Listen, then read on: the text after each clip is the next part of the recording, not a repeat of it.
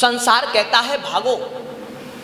जितनी प्राप्ति करनी हो, जितना आपको प्राप्त करना हो, जितना इकट्ठा करना हो, जितना नाम करना हो, जितनी आपको इज़्ज़त प्राप्त करनी हो, जितनी आपको शोहरत प्राप्त करनी हो, जितनी आपको दौलत प्राप्त करनी हो, आप भागते रहो। जितना भागोगे, उतना पाओ। ये किसका सूत्र है? किसका सूत्र है? संसार का। संसार और धर्म दोनों को समझना बड़ा ज़रूरी है, क्योंकि दोनों का जब तक समन्वय नहीं होता, हम जीवन को सफल नहीं बना पाते, संसार ये कहता है, भागते। संसार आपको भगाएगा। वो कहेगा, जितना भागेगा, उतना पाएगा। और धर्म ये सिखाता है कि ठहर जाओ, जितना ठहरोगे, उतना पाओगे। धर्म कभी भागना नहीं सिखाता, धर्म ठहरना सिखाता और मैं आपको बता दूँ भागने से वस्तु प्राप्त हो सकती है, लेकिन ठहरने से वस्तु के मालिक प्राप्त हो सकते हैं। और संसार में आकर के आपने सब कुछ पा लिया, लेकिन परमात्मा को नहीं जाना, परमात्मा को नहीं पाया धर्म तत्व को नहीं पाया तो फिर संसार में आकर के आपने किया क्या? क्या प्राप्त किया? एक चीज़ समझ लेना। जो चार चीज़ों के पास जो चार चीज़ों के पीछे आप अपना जीवन गंवा देते हो, आप अपना जीवन खत्म कर देते हो, आप अपना जीवन समाप्त कर देते हो, ये चार गड्ढे संसार में ऐसे हैं जो कभी भर नहीं सकते। आप चाहे कितनी कोशिश कर लो, अरे अभी तो आपका आयुष्य बहुत छोटा है। साठ साल, सत्तर साल, अस्सी साल, नब्बे साल, सौ साल, उससे ज़्यादा कोई आयुष्य नहीं होता। अरे कहते हज़ारों साल का नहीं, लाखों वर्ष का आयुष्य भी आपको प्राप्त हो जाए, फिर भी संसार के चार गड्ढे ऐसे हैं जो कभी नहीं भर पाते आज तक कोई उसको नहीं भर पाया बड़े बड़े सम्राट आकर के चले गए, फिर भी अतृप्त ही गए, फिर भी असंतुष्ट ही गए, फिर भी उनको यही लगा कि थोड़ा कुछ बाकी रह गया, ये चार गड्ढे संसार में ऐसे कहा पहला गड्ढा सुख का संसार में जो सुख की कामना करता है, सुख की खोज करता है, उसका गड्ढा कभी भर नहीं पाता।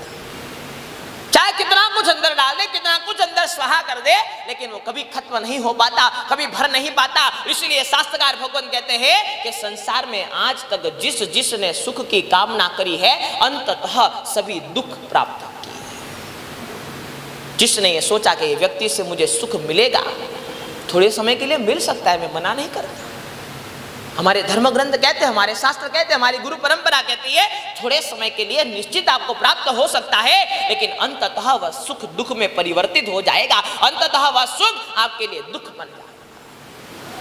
आपने ये सोचा कि वस्तु से मुझे सुख प्राप्त हो जाए, ये मकान से मुझे सुख प्राप्त हो जाए, ये परिवार से मुझे सुख प्राप्त हो जाए, मेरी पत्नी से मुझे सुख प्राप्त हो जाए, मेरे पुत्रों से मुझे सुख प्राप्त हो जाए, हर चीज़ संसार में, जिस जिसने संसार में सुख खोजने की कामना करी है, अंततः उसका गड्ढा कभी नहीं भर पाया, वो दुखी के दुखी रहा कहा हमारे यहाँ पे सच्चा सुख तो भीतर है? अंदर जो गया, उसको सुख प्राप्त हुआ। उसको सुख प्राप्त हो जाएगा, बाहर जो भटकेगा, उसको सुख प्राप्त नहीं होना है। और इसलिए मैं आपको बताना चाहता हूँ, ये संसार में जो आप दौड़ लगाते हो, जो दौड़ते हो, जो भागते हो, लेकिन समझ लेना ये चार गड्ढे ऐसे हैं जो कभी नहीं भर सकते। पहला गड्ढा सुख का। दूसरी बात करते हैं। दूसरा गड्ढा है संपत्ति का। कभी नहीं भरेगा आपके पास सौ रुपए है तो भी आप असंतुष्ट हो। आपके पास हज़ार रुपए है, फिर भी आप असंतुष्ट हो। आपके पास एक लाख रुपए है, फिर भी आप असंतुष्ट हो। आपके पास एक करोड़ रुपए है, फिर भी आप असंतुष्ट हो। आपके पास सौ करोड़ रुपए है, फिर भी आप असंतुष्ट हो। और आपके पास हज़ार करोड़ रुपए है, फिर भी आप असंतुष्ट ही रहोगे, जब तक वहाँ से आपने सुख खोजने की कामना की किसी को संतोष नहीं हुआ संपत्ति के क्षेत्र में। और जिसके पास ये संतोष नाम का गुण आ गया, उसके लिए तो सौ रुपए भी ज़्यादा है, और जिसके पास संतोष नहीं है, उसके लिए सौ करोड़ भी कम है। वो भागते रहता है, भागते रहता है, भागते रहता है। और ये चार चीज़ें ऐसी है जो संसार में आपको भगाती रहती है, आपको दौड़ाती रहती है। लेकिन शास्त्रकार भगवान कहते हैं, समझ लेना, धर्म पूरा विपरीत है। धर्म कहता है, ठहर जाओ, जितना ठहरोगे, उतना प्राप्त होगा, उतना मिलेगा। संसार कहता है, भागते रहो, जितना भागोगे, उतना मिलेगा। लेकिन शास्त्रकार भगवान कहते हैं कि अंततः तो धर्म ही काम। सुख का गड्ढा कभी नहीं बनता। संपत्ति का गड्ढा कभी नहीं भर कितना ही प्राप्त हो कितना ही मिल जाए, लेकिन अंततः यही लगता है कि और थोड़ा मिल जाए तो अच्छा। तीसरी बात करते हैं, स्वाद का गड्ढा कभी नहीं बनता। भोजन की बात करते हैं। हम कितना खा लिया अभी तक? जरा हिसाब किताब तो लगा। जन्म से लगाकर अभी तक कितनी रोटियाँ खाली होगी? कोई हिसाब है अपने पास? कितनी रोटियाँ खाली होगी? रोज की दो भी गिन लो तो भी गिन लो कितने दिन हो गए? किसी को चालीस, किसी को पचास, किसी को साठ, किसी को सत्तर, किसी को अस्सी। और लेकिन फिर भी जब भोजन करने के लिए बैठते तो कहते नहीं, रोटी तो गर्मा गर्म चाहिए। भोजन बढ़िया चाहिए। कहते महाराज जी, कम मिल जाए, कोई बात नहीं, लेकिन टेस्ट बढ़िया होना चाहिए। और कोई इस चीज़ की शिकायत हमारे पास आए ना आए, लेकिन भोजन की शिकायत हमारे पास ज़रूर आती है। महाराज जी, आज खाना बराबर नहीं। आज खाना बराबर नहीं था शिकायत ज़रूर आती है और और कोई चीज़ की प्रशंसा आए ना आए, लेकिन खाने की प्रशंसा भी हमारे पास ज़रूर आती है। महाराज जी, शताब्दी महोत्सव में बहुत मज़ा आ गया। मैंने कहा, ऐसा क्या मज़ा आया? आपको भक्ति में मज़ा आया? परमात्मा की भक्ति में, गुरु भक्ति में अलग अलग कार्यक्रम में मज़ा आया। अरे महाराज जी, वो सब बात तो ठीक है, वो सब बढ़िया ही था, लेकिन भोजन क्या मज़ेदार था, बात जाने। भक्ति में जितना मज़ा नहीं आता, उतना तो भोजन में आता है। ये स्वाद का घड्ढा ऐसा है हमारे जीवन में जो कभी भरता नहीं। आज तक यदि बैठ करके इंट्रोस्पेक्शन करे, आत्मनिरीक्षण करे, हमारे खुद की विचारणा करे तो पता चले कि ये जीव ने ये शरीर ने अभी तक तो कितना खा लिया सुबह के नाश्ते की गिनती करे, दोपहर के भोजन की गिनती करे, शाम के भोजन की गिनती करे तो पता चले कि कितना बड़ा गड्ढा है कि जीवन भर उसमें डालते रहे, जीवन भर उसमें भरते रहे, लेकिन फिर भी दो घंटे निकले नहीं के याद आता है कि कुछ भोजन मिल जाए तो अच्छा। पहले तो लोग एक टंक भोजन करते थे, एक टाइम भोजन करते थे। फिर धीरे धीरे तीन टाइम हो गया। और आज कितने टाइम है?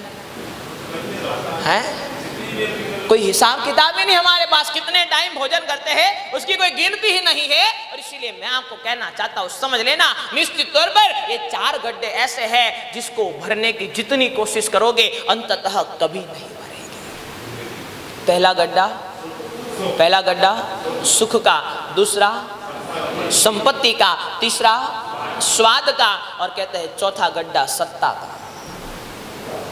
जितनी मिल जाए उतनी कम लगती है नगर सेवक बन जाने के बाद पहले कुछ नहीं थे तो परमात्मा से प्रार्थना करते, परमात्मा ये म्यूनिसिपालिटी के इलेक्शन में जिता दे, कम से कम नगर सेवक बन जाए।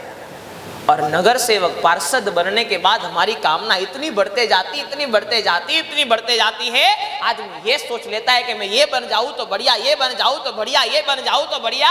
अरे पॉलिटिक्स की बात तो छोड़ो। घर में भी हम चाहते हैं कि हमारी सत्ता बनी रहे, समाज में भी हम चाहते हैं कि हमारी सत्ता बनी रहे।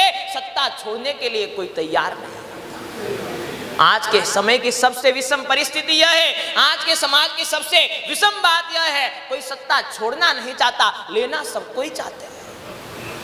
हर चाहते कि भले मुझे 80 साल हो जाए, लेकिन सत्ता तो मेरी बरकरार रहनी। वो छुटनी नहीं चाहिए।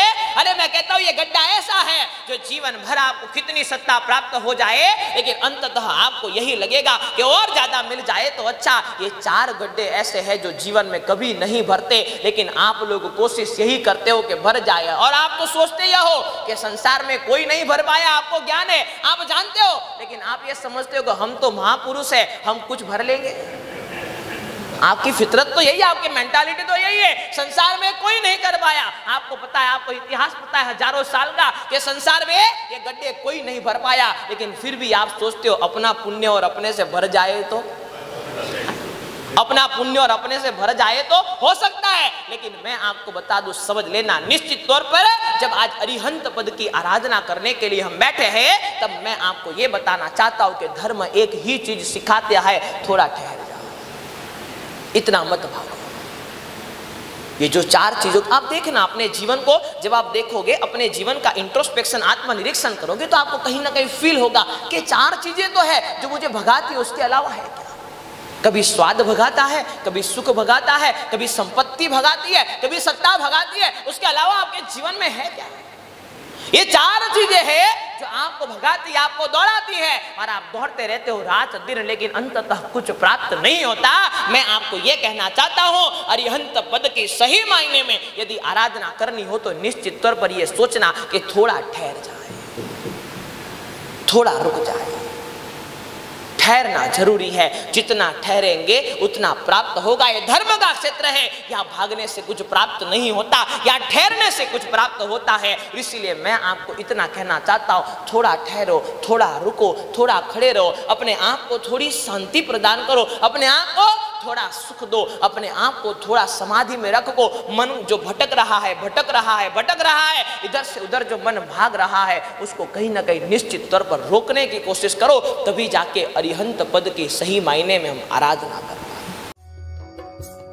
प्रेम भक्ति, आराधना, प्रवचन के अद्भुत संगम से जुड़ने के लिए सब्सक्राइब करें गुरु प्रेम मिशन की यूट्यूब चैनल को और ताज़ा अपडेट के लिए बेल आइकन पर क्लिक करना ना भूलें।